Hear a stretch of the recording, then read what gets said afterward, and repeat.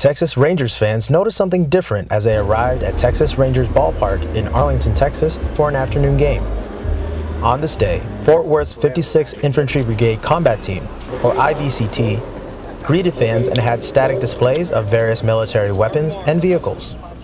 However, the 56th IBCT's actual mission is to train with Arlington's emergency first responders in a highly populated real-world event.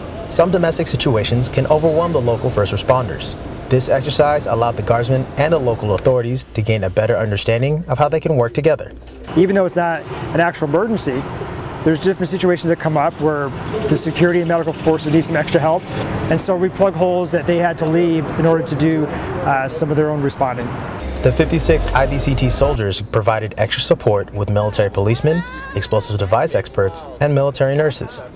From Arlington, Texas, for the 100th Mobile Public Affairs Detachment, I'm Specialist Richard Castillo.